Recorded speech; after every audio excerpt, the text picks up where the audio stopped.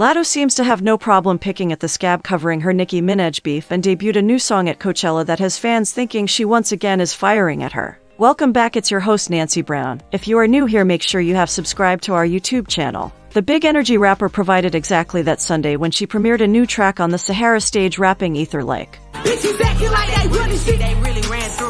She mustn't have took her meds. The biggest clues the song was about Nicki came during Latto's song-ending ad-libs. Say she got a problem, imaginary smoke. Bitch, you said it's up, then put on the floor. She then walked off the stage yelling, Pussy ho let a bitch know, we tired of the subtweets this year. As she and Nicki's very public Twitter spat is still heavy fodder for her fans as well as the Barbz. The two fell out after the 2022 Grammy Award noms were released where Nicki's Super Freaky Girl was absent while Latto's Big Energy record made the cut. From there, an all-out war ensued, complete with leaked phone calls sparking a rift that still hasn't been resolved. That's it for today, thanks for watching. Tell us what you think in the comments section and most importantly subscribe. See you.